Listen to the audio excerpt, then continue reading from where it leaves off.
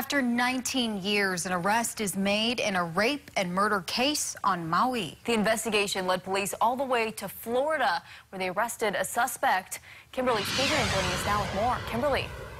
Bridget Lauren, I'm told the breakthrough was thanks to a new set of eyes on the case.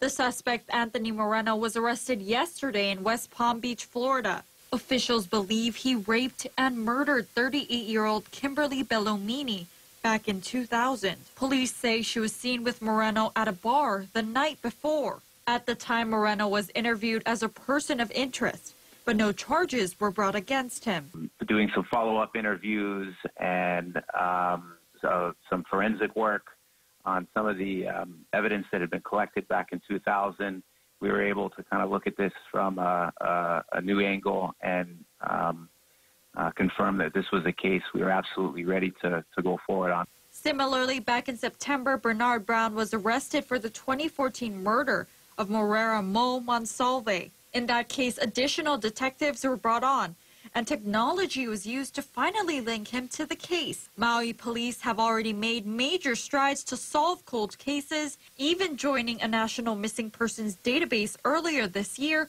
to make it easier. According to police, the department's criminal investigation system has solved three cold cases so far. And Martin says they won't stop there. It, it's important for it's important number one for, for the victims, for the surviving family members of, of these victims to see that um, the police department, the prosecutor's office hasn't given up on um, seeking justice for their for their loved ones who are gone. Um, but it's also important for the community as well. And Moreno still needs to be extradited back to Hawaii.